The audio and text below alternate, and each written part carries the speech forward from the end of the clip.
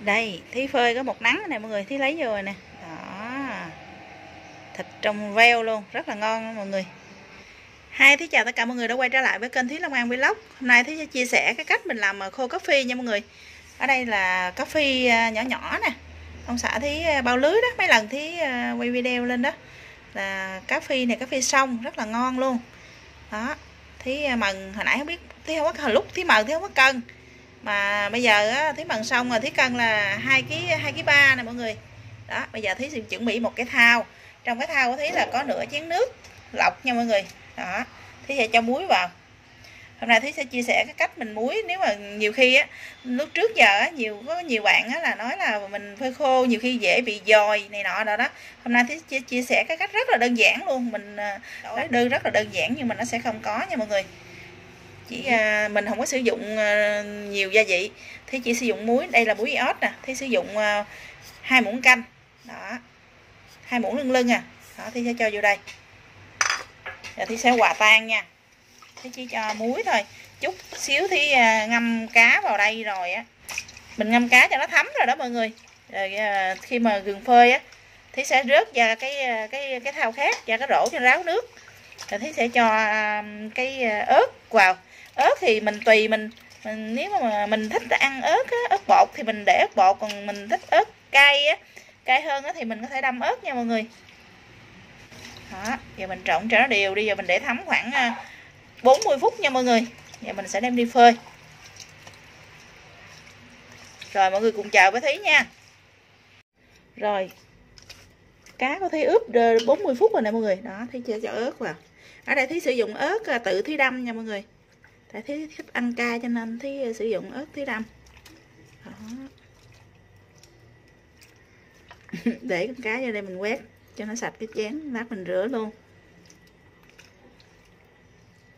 Mình tuy nhìn nó ít như vậy nhưng mà rất là cay còn ớt bột mình để nhiều quá chứ ờ, thấy cũng sợ màu nữa. Chẳng hạn như cá này nè ta ướp đủ thứ hết bột ngọt ăn như ngon nói chung là tùm lum hết. Nhưng mà tại vì thấy chỉ thích à, cá của mình cá xong thì nó rất là ngọt cho nên thấy chỉ ướp xương cái xíu, muối vậy thôi, tí phơi. Và đồng thời nó sẽ không có bị à, bị dòi này nọ đâu.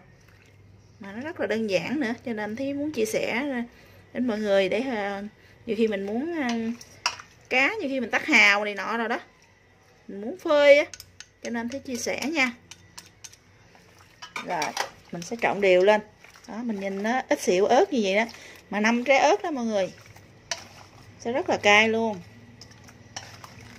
nhưng mà mình ướp ít ớt như vậy nè. Nhìn á tới chừng mà nó khô lên rồi á con cái thịt con cá của mình á thịt của con khô con cá mình nó thành con khô nó rất là trong. Cái này hồi nãy thì à, đã à, rớt ra.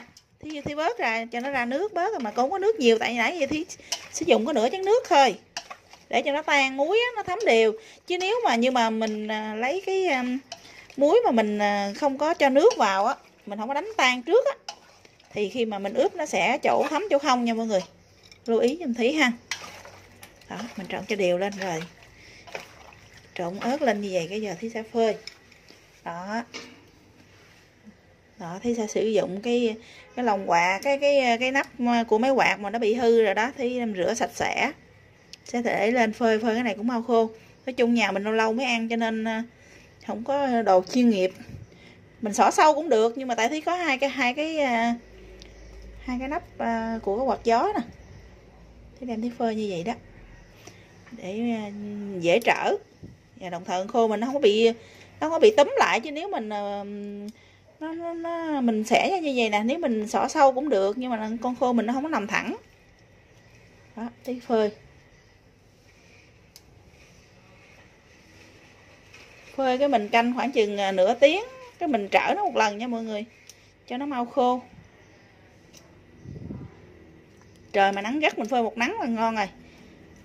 Giờ để thí à, đem phơi cái à, mai mốt à, để ngày mai nó khô và thí sẽ chiên nêu thành quả mời mọi người nha. Mọi người cùng chờ với thí nha. Đó, nhìn hấp dẫn mọi người. Đây, thí phơi có một nắng này mọi người, thí lấy vô rồi nè. Đó, thịt trong veo luôn, rất là ngon mọi người. Chút xíu nữa thí chiên, thí mời mọi người nha coi nó vừa ăn không nha mọi người?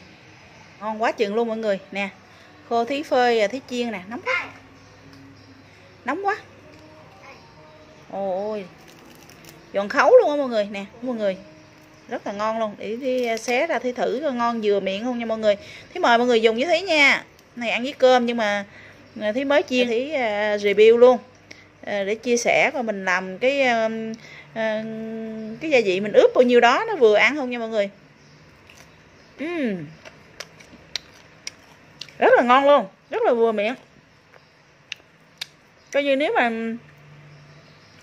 ướp cỡ nhiêu cá của thí á là bao nhiêu muối á, mà thí bữa thí làm á là vừa nha mọi người.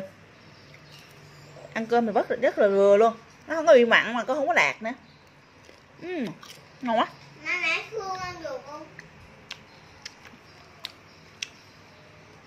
Uhm, ngon quá chừng ngon luôn mọi người thôi, để thí à, đi bếp cơm ăn. Bữa nay thí à, mời mọi người dĩa khô này nha. Mọi người nấu cơm thí mời khô nha. Dùng dĩa thí nha. Rất là ngon luôn á mọi người. Mà thí ướp ớt á. Nó cay cay, rất là ngon. Thêm một cái bí quyết mà thí chia sẻ đó là mình thêm dầu ăn vào á, nó không có ruồi á. Nó không có bị dòi á. Thí phơi đợt khô này là không có con dùi nào bu hết mọi người ớt với dầu ăn á. Cho nên khi mọi người mà làm khô á, nhớ là mình nên um, thêm dầu ăn với lại um, ớt vào là coi như là khô của mình rất là ngon luôn. Mà nó đảm bảo nó không bị rùi bu. Thôi video của thí đến đây thí tạm dừng nha. Thí uh, chúc mọi người một buổi trưa tràn đầy năng lượng để uh, tiếp tục làm việc trong một ngày ha. Thí bye bye, chào tạm biệt mọi người nha. Hẹn gặp lại những video sau.